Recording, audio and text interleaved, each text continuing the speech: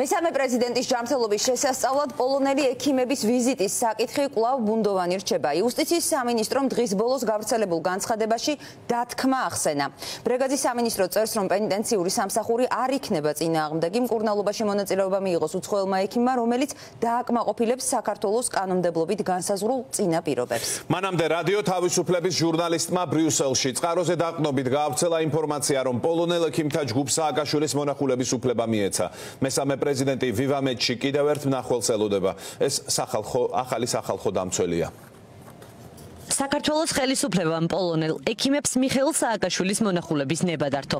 ამის შესახებ ინფორმაცია ევროკავშირის ოფიციალურმა წყაროებმა რადიო თავისუფლებას დაუდასტურა. ვიზიტის დეტალები ჯერჯერობით არ საჯაროვდება.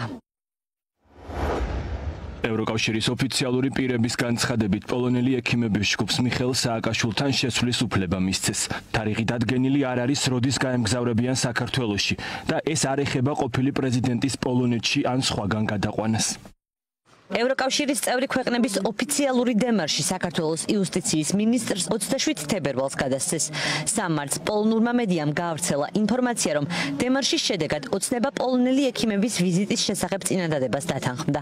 იუსტიციის მინისტრმა პოლონელი მედიკოსების შესაძლო ვიზიტი არ გამორიცხა, თუმცა უარყო, რომ ფაქტი დემარშს უკავშირდება. მოგვიანებით სააკაშვილის გარემოცვამ საუბარი დაიწყო იმაზე, რომ საქართველოს ხელისუფლება ხელოვნურ დაბრკოლებებს ქმნიდა. მოლაპარაკების საბოლოო შედეგი ოფიციალურ ოფიციალურად ჯერ არ გამოქვეყნებულა. თუმცა მესამე პრეზიდენტის ოჯახი და გარემოცვა დარწმუნებულია, რომ სტრასბურგში გაკეთებული განცხადებების შემდეგ ხელისუფლებას დათმობაზე წასვლა მოუწევს. პოლონეთის ძალიან მადლობელი ვარ, იმიტომ რომ აღარ დარჩა ადამიანი ხა პრეზიდენტი და დაწყებული პრემიერი, პრეზიდენტი, პრემიერი, საგარეო საქმეთა მინისტრი, ვიცე-სპიკერი, რა ვიცი, ომბუდსმენი, რამდენჯერ ჩამოვიდა ეს ხალხი, რამდენჯერ ითხოვეს, რამდენჯერ უარყოფითი პასუხი მიიღეს, მაგრამ მაინც აგრძელებენ ამ ბრძოლას და ძალიან გამახარა იმ ფაქტმა, რომ აი პოლონელი ექიმები და გამოთქვამენ სურს, რომ აი მოინახულონ და რა თქმა უნდა, ერთი მათი აზრით ძალიან მნიშვნელოვანი იქნება. მე მე ვფიქრობ, ეს გადამწყვეტი იქნება. დრო გვაქვს ძალიან ცოტა, სულ უკვე რამდენი ხანია მაგას ვამბობთ, რომ დრო გვაქვს ცოტა და რაც ყველაფერი რაც უფრო სწრაფად მოხდება, ჯობია. რო ახლა საჭირო არის საერთაშორისო დიპლომატიის გააქტიურება და საუბარი ქართულ ცნობასთან და მე მგონია რომ შედერებს მიხილად ხმართლა ჩალით არ არის და დაფარული მსოფლიო და მართლა ყველაფერს ჩალისფასი არ აქვს.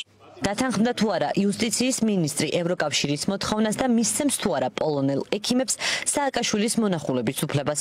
ამ კითხვით რატი ბრეგაძის უწყებას მიუმართეთ, თუმცა კონკრეტული პასუხი ვერ მივიღეთ. დღის ბოლოს სამინისტროს Facebook გვერდზე ერთაბზაციანი განცხადება გამოქვეყნდა. საზოგადოების ინფორმირების მიზნით იუსტიციის სამინისტრო განმარტავს, რომ კურნალობის პროცესში უცხოელი ექიმის ჩართვის შესაძლებლობა მსჯავრდებულ სააკაშვილის სამინისტრომ 2022 წლის 29 ნოემბერს შესთავაზა.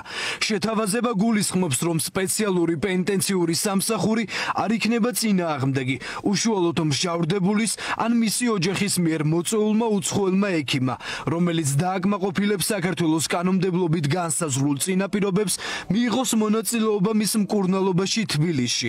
კლინიკა ვივამეთში, სადაც ამჟამად მსჯავრდებული სააკაშვილი იმყოფება. პოლონელი ექიმების ვიზიტამდე სააკაშვილს სავარაუდოდ ახალი სახალხო დამცველი მოინახულებს. ლევან იოსელიანის შეთავაზებას მიხეილ სააკაშვილი დათანხმდა. პატიმრის ადვოკატი ფიქრობს, რომ სააკაშვილის საქმე იოსელიანისთვის პირველი გამოცდა იქნება. საინტერესოა რა განცხადებას გააკეთებს და აბა გაიმეორებენ გაიმეორებს რა იმ ნარატივს, რასაც ხელისუფლება აჟღერებს, რომ თითქოს სააკაშვილი ჯანმრთელად არის. მას მოუწევს უნდა არ უნდა აღიაროს მისი ძიმიანობა და დარწმუნებული ვარ იმაზეც მოუწევს განცხადების გაკეთება, რომ სააკაშვილი გადასაყვანია. წინააღმდეგ შემთხვევაში მას დაუჭირდება სახალხო დამცველის პოსტზე ყოფნა და შემდგომში საქმიანობის გაგრძელება. მისი მთავარი მოვალეობა არის პატიმრების უფლებების დაცვა და დღეს ეს პატიმარი იყოფება ყველა პატიმარზე უმძიმეს დონორებში. სახალხო დამცველი ნინო ლომჯარიას მიერ დაკომპლექტებულ სამედიცინო ჯგუფთან თანამშრომლობის გაგრძელებას აწკიგმავს. თუმცა ამ დრომდე ლევანიოსელიანი არც ერთ ექიმს არ შეხვედრია. კონსილიუმის წევრებს არ აქვთ ინფორმაცია, რა ფორმატით გააგრძელებენ მუშაობას მიხეილ სააკაშვილის საქმეზე.